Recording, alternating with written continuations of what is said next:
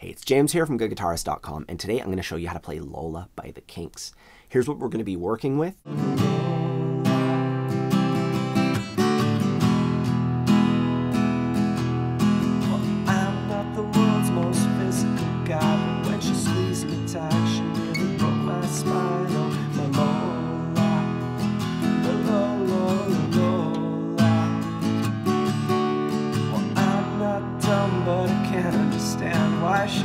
Like a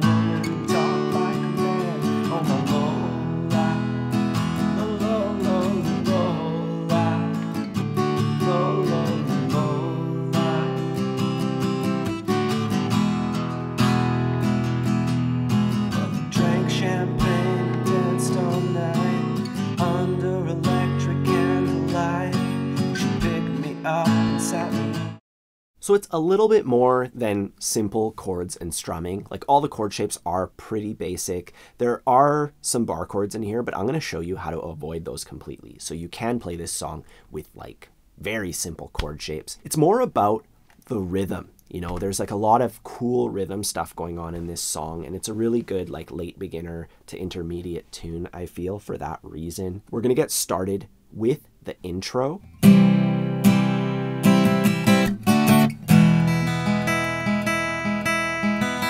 And before we go too far, if you do need help with the basic chord shapes and you know getting all that stuff together, I have a complete beginner's course which is designed to help you with your rhythm and with your dexterity and all the fundamental skills and being able to put it all together, you know, to go from like an absolute beginner to a confident strummer. I'll put a link to that in the corner. Our chords are C, D, E.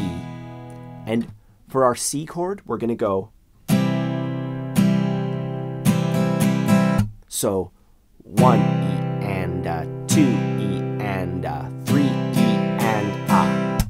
Now we do have to count this song in 16th notes because of the pacing of it. It's just too awkward to count it one and two and three and. We got to go into the next gear, counting one E and uh, two E and uh, three E and uh, four E and. Uh, that is called 16th note counting because we're taking one, two, three, four, and we're dividing each number into four bits, one E and a, and then 4 times 4 is 16. So we get 16 little subdivisions. As far as the strumming pattern with our C chord, we strum C on beat 1. 1 E and a, and then 2 E and a, and then here we go 3 E and a. So it's pretty simple as far as the down and up strokes are concerned, you know, just a couple downstrokes and then down, up, down, up. And then we go into our D chord, and for that we're going to go 4 E and. Or you could just think about it as miss up down. You know, it's up to you if you want to think about it in a simpler way. We could just say the strokes. We could just go down, down, down, up, down, up, miss, up, down. You know, we switch into D on that miss. But I think learning how to count it is going to have a lot of future benefits, you know, when it comes to learning more and more songs. Once you kind of have the mechanics of rhythm down, you work on that going between C and D, just going one And up, down, and then we play our E chord, and we pluck. So I'm just plucking the top three strings, descending, so just descending through the strings. The thinnest, then the B string, and then the G string. And I descend through them three times.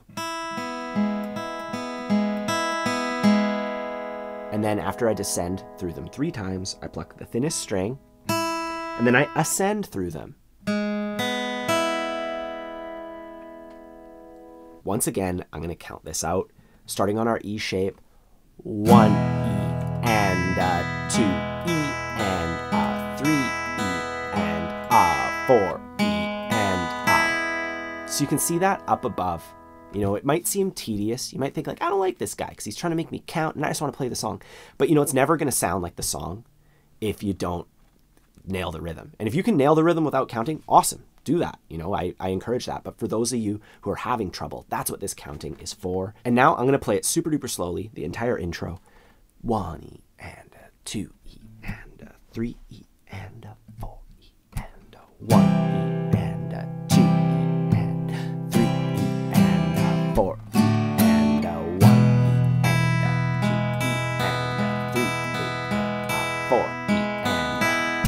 That's going to come back a few times in this song, minus the picking. You know, we'll just add a strumming pattern there instead, but like the you know, that's going to come back a whole bunch of times. Anyways, on to the tune. In the verse, going to start on an E chord, and then we go A and D. So E, A, D, make sure you're comfortable with those. So the progression itself is very simple, just a measure of E, and then A and D are actually sharing a measure. So, you know, if you want to work on the shapes as well, you can just go one, two, three, four, one, two, three, four you know, just doing downstrokes, four downstrokes on E, two on A, and then two on D. And you could even sing the song like that, just going, I met her in a club down in Old Soho where you drink champagne and it tastes just like Coca Cola.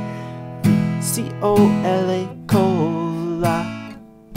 You know, and I'm just playing mm. downstrokes and I'm singing the tune. That's an awesome exercise. Like, it's a good intermediary step before you start strumming it, because singing is kind of like strumming in that it has a lot of rhythm behind it, right? And like you're strumming and singing, it's like two kinds of rhythm going on at the same time. It's a big hurdle to, to get over. And you know, if we if we break it down into steps like that, it, it really helps. Anyways, that's our progression. As far as the strumming pattern that we're gonna play with it, it goes like this. I'm gonna do it slowly. Three E and a four E and a.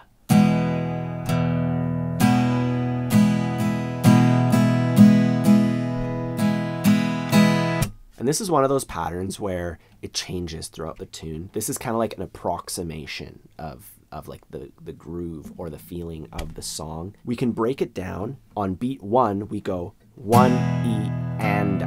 And that R just means root. And basically you just do a little downstroke, you know? So you do a big downstroke on 1 and 1 E and a. And then on beat 2, we're going down, down, up or with the counting two, E, and up. And I want you to learn it in these four parts, you know, beat by beat. Beat three is the same as before. Down, up, down, up. Three, E, and up.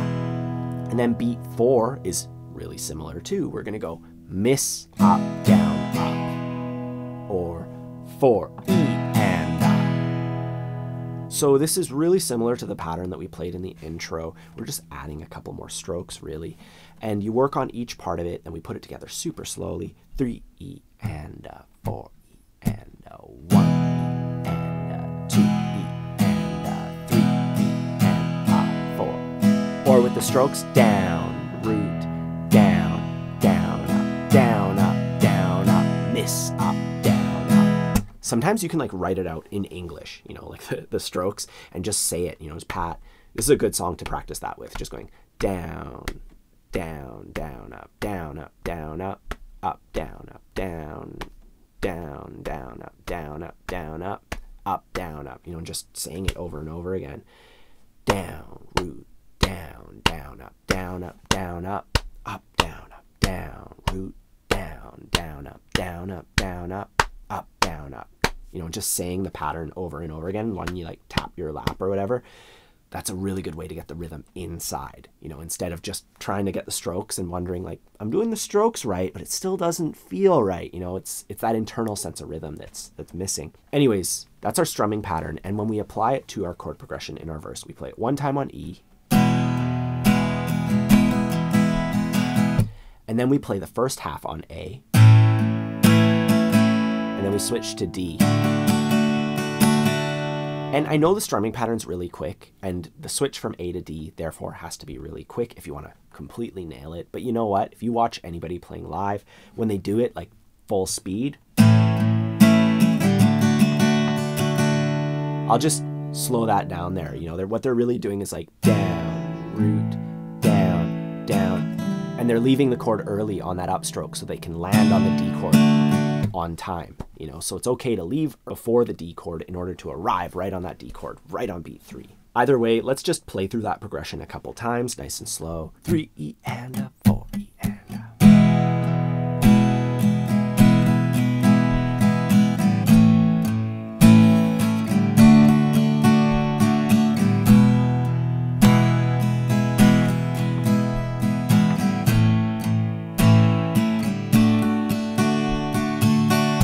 And now at the end of the verse, they do add that intro thing again. So we'd be playing like, in a dark brown voice, she said, Lola,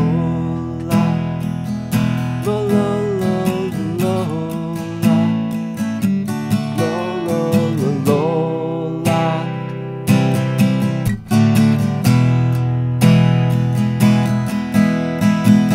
The other section is the chorus. We start off on B7, going into F sharp, and for that we could play like a you know bar chord, or we could just play the easy F, which is we skip the first string, play the first fret of the B string with our index, then our middle goes on the second fret of the next string on the G string. Our pinky goes on the third fret of the D string, and our ring finger goes just above it on the third fret of A, and then our thumb mutes the thickest string and we take that one fret higher and we get F sharp.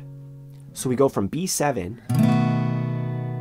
into that shape, and I like to place these two fingers first. Get my F sharp chord, and then from that F sharp we go into A, and that's it. You know, so it's just three chords: B7, F sharp, and A. Once again, you can just try doing some downstrokes only. You know, one, two. Danced all night under electric candlelight. She picked me up, you know, and just doing downstrokes only.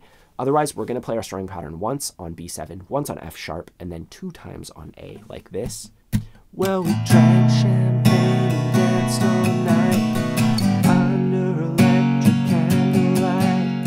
She picked me up, with me, and said, Dear boy, won't you come home with me? And that bit of chord progression happens two times in the song. The other other section is the bridge, and that's the part where it goes, I pushed her away. So let's just work through that one. It's more of like a chord shot thing. We have our A chord into E into B7. And E into B7, we can just leave our middle finger down. That's a nice quick way. And we're to need a quick way to do it because we're, we're switching chords so fast during this part. We're going to play the A chord on beat one, one, E, and ah. And we play the E on the uh, you know, so one, E, and ah, three, E, and ah. You can see how it all lines up there. You know, I recommend starting with that, just going one, E, and ah, two, E,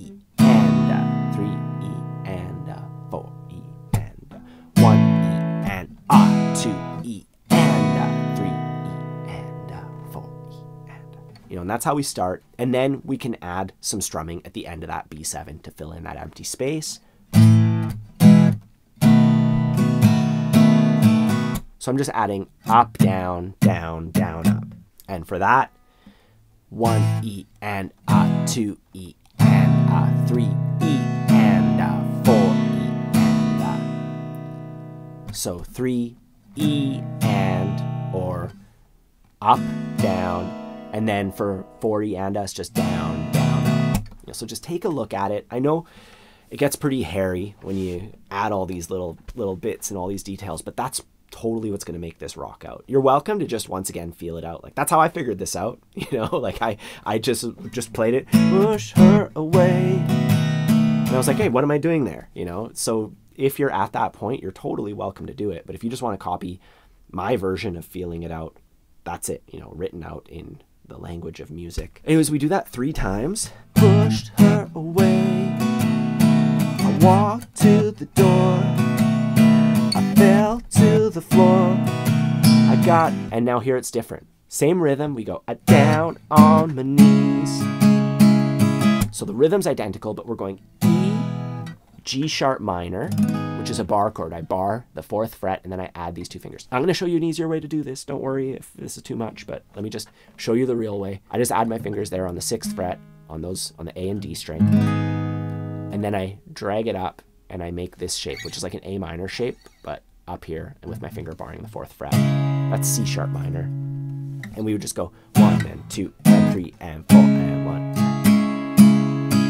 Or we could just go E, E, A. So we could just go, I got down on my knees. doesn't sound exactly the same, but it does work with the melody. And, you know, when you're playing a song, nobody's going to be like, hey, I think that should have been G minor, or sharp minor, you know, unless somebody who actively plays and performs Lola is there. Anyways, after that, we just play the B7 chord with our strumming pattern once, and that is the bridge. So I'm just to go through the whole thing. A one, two, three. I pushed her away. I walked to the door. I fell to the floor. I got down on my knees. Then I looked at her and she at me. Or I got down on my knees. Then I looked at her. You know, and that's the other way to get through it. Anyways, those are all the components of the song. When it comes to putting it all together, the one little detail that I'd like to point out is that just before the second chorus, when we're playing the verse, we go mixed up, shook up world except for Lola. Lola, Lola. And we just stay on the A chord instead of switching to D. And then we can go into the second chorus. Well, I left home. Otherwise, all the parts are exactly as I've shown you in this lesson. So you can see that's the order of everything. You can write that down and listen to the original recording, keeping in mind the, right before the second chorus, we hang on to the A chord.